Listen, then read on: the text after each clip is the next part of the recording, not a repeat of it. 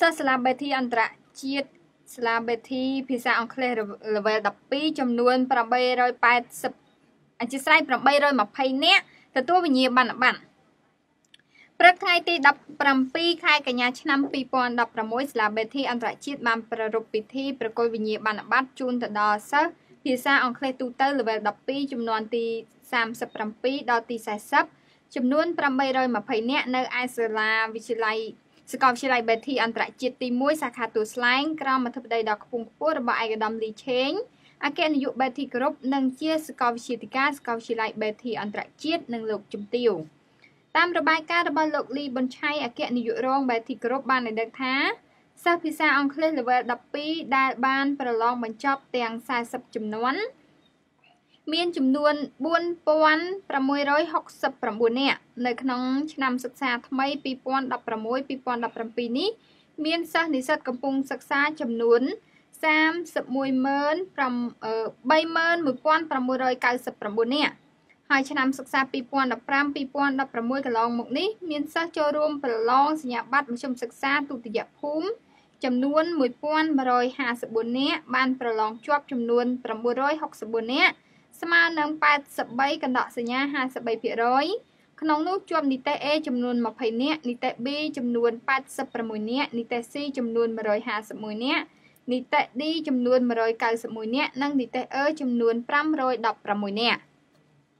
សាលាបេធីអន្តរជាតិបានបញ្ចូលកម្មវិធីសិក្សាបន្ថែមធំធំចំនួន7សម្រាប់ថ្នាក់ចំណេះទូទៅ និងភាសាអង់គ្លេសទូទៅរួមមាន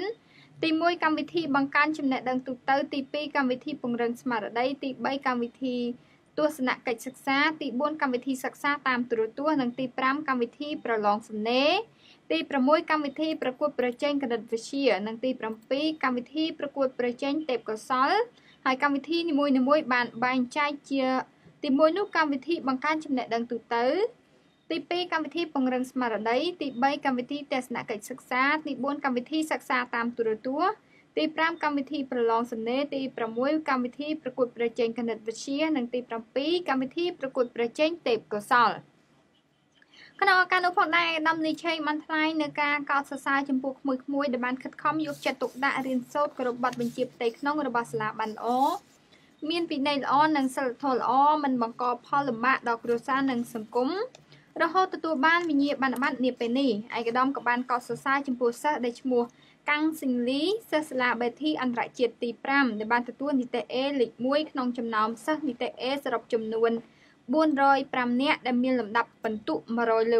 100ខ្ពស់ជាងគេទូទាំងប្រទេសផងដែរ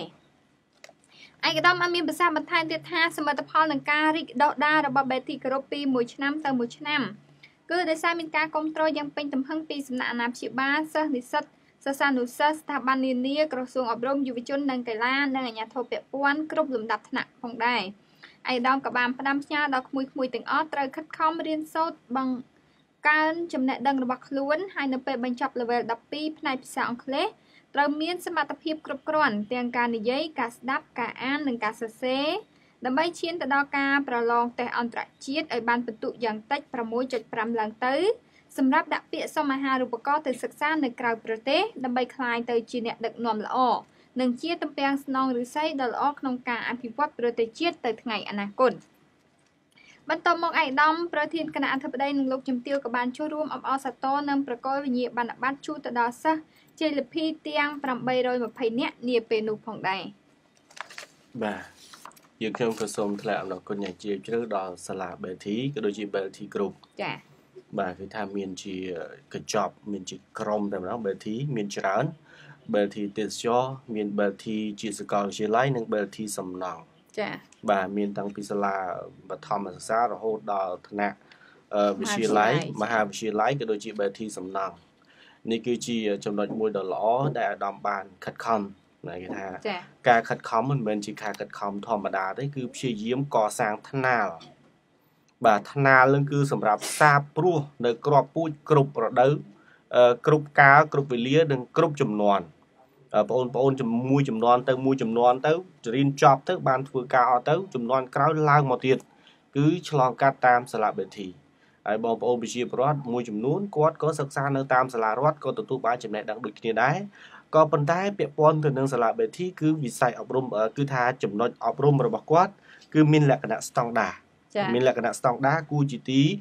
ចាប់រំរបស់មេដាបេដាទាំងអស់ដែលគាត់ផ្ដល់ការទុកចិត្តទៅលើសាកលវិទ្យាល័យក៏ដូចជាសាលាបេធីតែម្ដងបាទ